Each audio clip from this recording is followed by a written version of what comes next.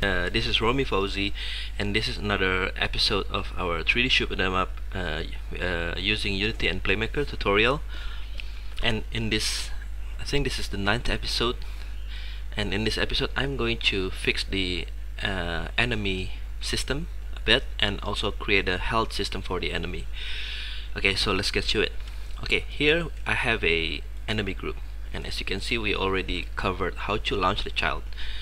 And with this system there is a couple issues. Uh, I think there is one issues where the uh, this ship is get launched. But sometimes when you uh, destroy or you shoot the ship and it will only get four. And we have uh, only four children will, will get launched. So as you can see here we have one remaining that still inactive. So this is a problem mainly because I think the get next child will confuse when we if we uh, if we destroy the child so the order of the child will get uh, I think maybe reshuffled the order of the child. So I create a new system in order to do that so we are going to remove the get next child. And I'm going to create a new integer variable and this is basically for the current index uh, child index. Okay. So we are going to get the child count here first under the trigger event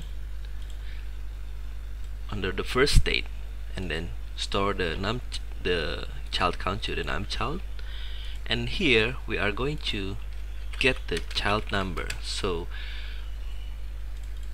we are going to get the child by its index. So choose the index uh, the current index and store this to a current child. And then we activate the child. Here I'm going to add a new state and we are going to increment index here. So after activate the child connect the finish to this increment index and add a uh, finish transition. And we are going to use an integer add. Choose the current index and add this by one. And uh, I don't think it's a good idea to use finish so I'm going to create a new uh, event. I'm going to name this continue. Add a transition continue and connect this back to the get child number. And here I'm going to use an integer compare so basically the first integer we are going to compare our current index with our num child. So basically if it's uh, less than we are going to continue the action. But if it's already equal or greater than we are going to stop go to the uh, get child number. So it will stop launching the child. So basically this is like array like iterating an array but this is uh, a bit manual okay let's try this. See if it's working. Now we have five enemy and I'm going to shoot one of them. Oh sorry there is an error here. Okay sorry. We need to change the launch child to finish so I'm going to change the transition event to finish because launch child never gets launched okay save the scene and let's try again. Hopefully it's working this time. Ah there you go. We have a working and as you can see here I'm going to pause the scene and we don't have a child anymore. So basically all of the childs get launched and we can destroy all of them.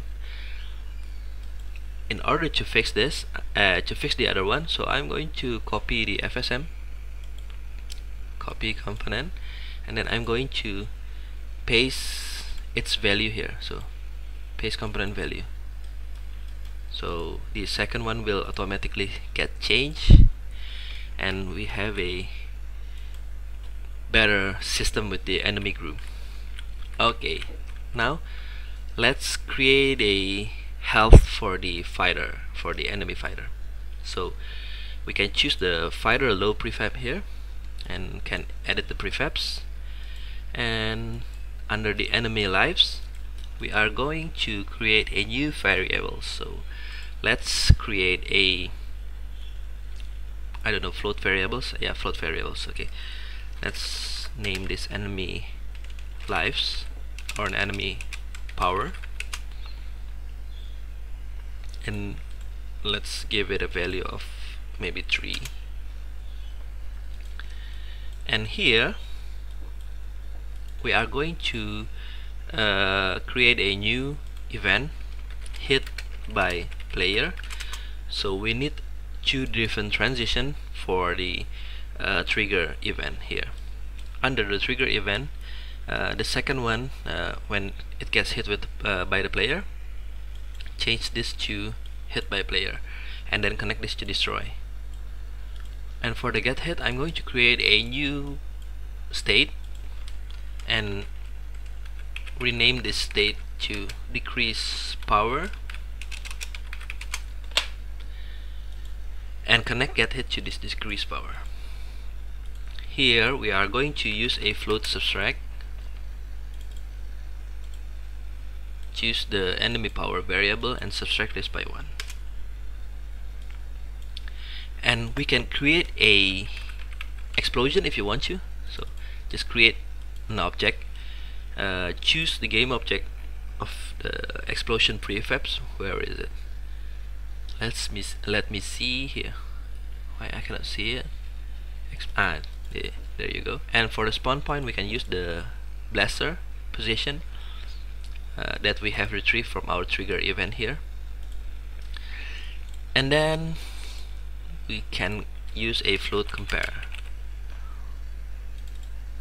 so basically if the enemy power is a less or equal than zero let's create a new transition.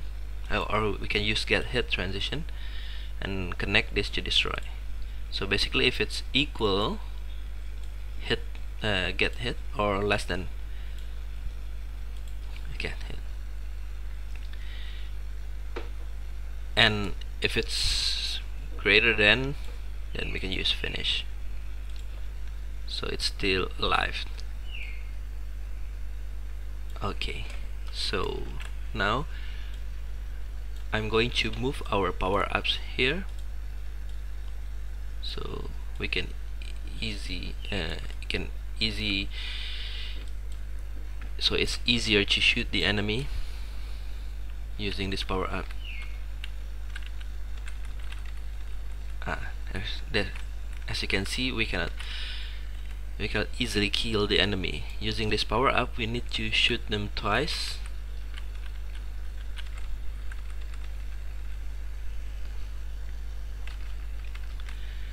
Now we can copy this FSM the fighter low prefabs edit the prefabs and copy the enemy lives and go to the second prefabs here and I'm going to paste the component values so if we check our enemy life it has the same uh, decreasing power and we can change this enemy power maybe to let's say around 5 so maybe the yellow one it's harder to kill to destroy.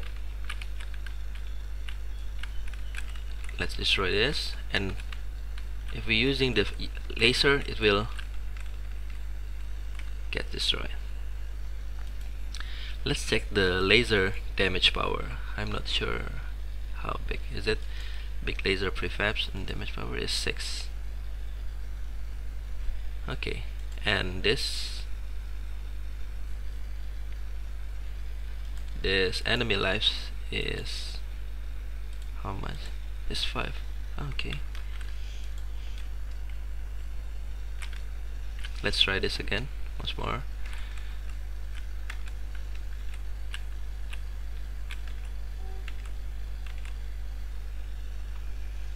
Oh okay. Sorry. I have one thing that is wrong. So basically we are not going to subtract this by 1 but we are going to subtract this with the damage power. So I'm very sorry that I missed that uh, part. So okay let's just create a new damage uh, power variable of float. And we are going to use a get FSM float. Okay put this on the top of the stack. I'm going to specify a game object and let's get it from our blaster. And here let's see our blaster prefabs. Okay we are going to copy the blaster move name and go back to our fighter low prefabs B I think edit prefab uh, paste the name of the blaster and just type the variable name to damage power. And we are going to store this to our damage power our local damage power here. And then under the float subtract we are going to subtract this with the damage power okay so let's save the scene and I'm going to copy this component and paste this to the other fighter low prefabs.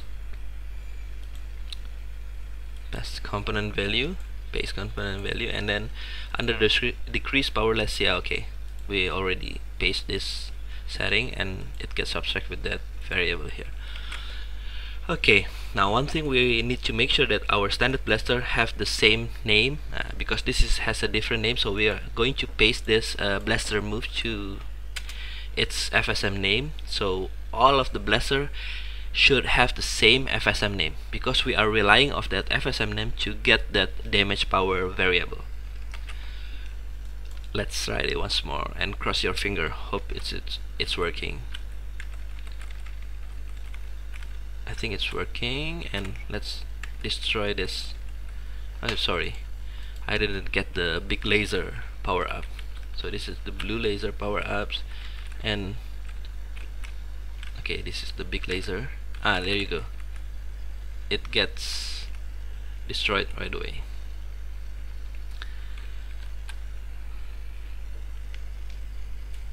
There is a an issue bit issue where the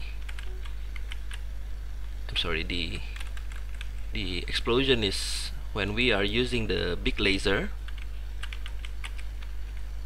the explosion is starting from the bottom part of the big laser. As you can see here it's too far from the ship. So we are going to fix this by fixing the prefabs of the big laser. Drag the big laser prefabs here and center this out. Okay. So basically the big laser pivot is over here. So I'm going to change it. Let's move to the front here. And I'm going to move the big laser. And I'm going to change its box collider so it fits our particle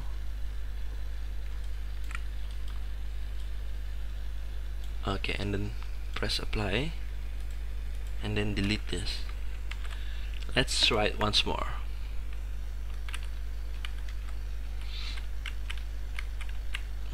To pick this big laser power up and let's destroy it. Uh, I think this is better. I think for the big laser we need to have a faster movement. So choose the big laser prefabs and maybe translate it with a faster value of maybe 60 I'm going just to try this once more. Yeah I think this is better. Okay I think this is working nicely. So that's all for this episode for the enemy lives. Uh, I hope you like what you're watching. And if you like it please subscribe stay tuned for another Unity and Playmaker tutorial. Thanks a lot for watching. See you on the next episode. Bye